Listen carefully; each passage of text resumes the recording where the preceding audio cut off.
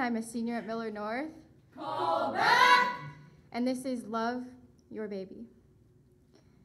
Dear Mommy, please don't throw me away. I'm sorry. I know you never wanted me in the first place, but I'm in love with the sound of your voice, and I can't wait to see your face. I can't stop you from making the choice to simply put me to waste.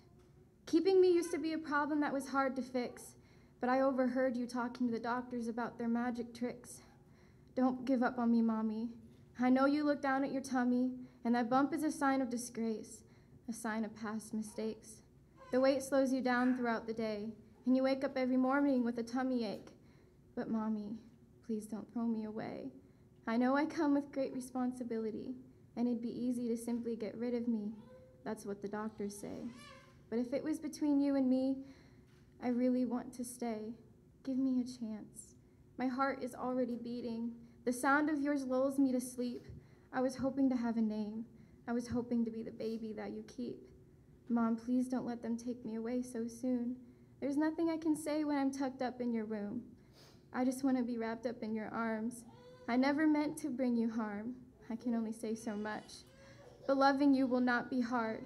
Because when my eyes open for the first time, I'll see the mommy that's fully mine. You have blue eyes too, look, mommy. I look just like you. Please don't throw me away, mommy. I love you. Love your baby.